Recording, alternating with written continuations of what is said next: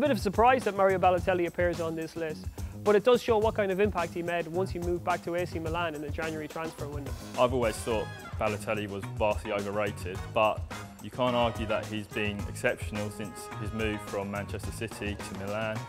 He seems a lot happier with his football now. Doesn't seem to react as much to silly little things going on around him.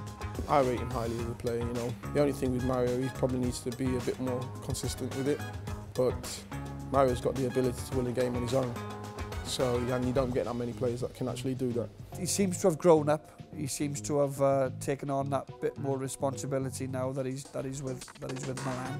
As for his off-field um, antics, he'll grow. He's 21, 22, so he'll grow up and, and he'll grow out of that.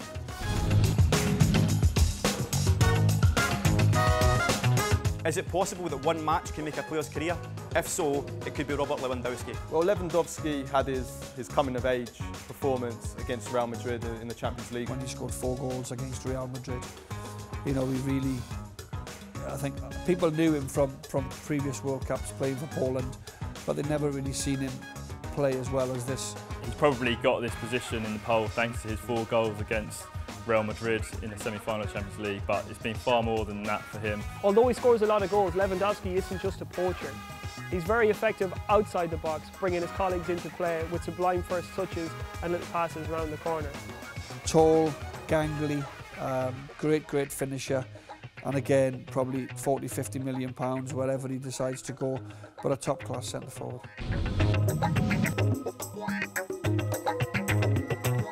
The best piece of transfer business Man United have done in the last five, six, seven years was to sign Robin Van Persie from Arsenal. I think it would be very hard to argue against the assertion that Robin Van Persie was the single most important player for United in their title-winning campaign. A great striker. Uh, last season probably had uh, the best season of his life. His ability brought a lot to Man United. His ability, his uh, his off, his running, his goals. Fantastic left foot. Can whip in free kicks when he when he wraps his foot around that ball.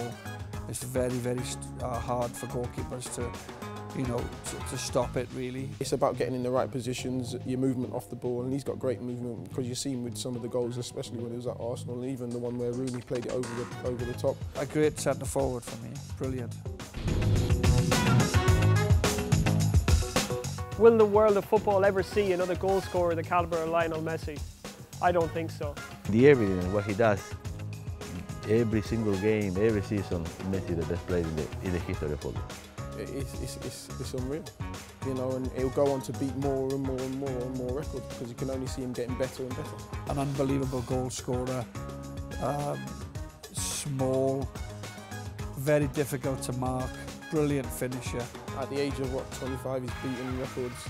He's still got another eight more years left to play, probably even longer. He scored 60 goals last season, but that's almost become the norm for Messi. Lionel Messi should have been the winner of the forwards poll. He scored 60 goals in all competitions, and that's despite missing a period towards the end of the campaign through injury. He broke record after record after record once again, and I just think that people are just taking Messi for granted. Could it be that our readers remembered his poor performances in the Champions League? They shouldn't. He should have won. There's an argument that Messi could have won, but how can you argue with Ronaldo? Superb player. If anybody's good enough to top Messi in their poll, it's Ronaldo. Left foot, right foot, header, uh, can do absolutely everything and, and anything on the football pitch.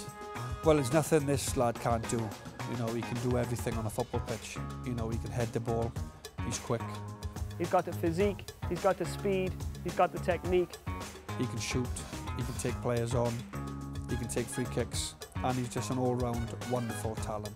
He looks after himself, he, he eats well, he trains well, he, he plays well, everything he does is great. So uh, what more can you ask for? One of the best best footballers in the world, uh, and there's the proof that he's done it perfectly for, and for the Premier League, in the Spanish League. When it's all said and done and the greatest players of all time are being assessed, Cristiano Ronaldo has got to be somewhere near the top of that list. For Man United and for Real Madrid, he's emerged as one of the most consistent goal scorers and one of the most relentless forces in European football.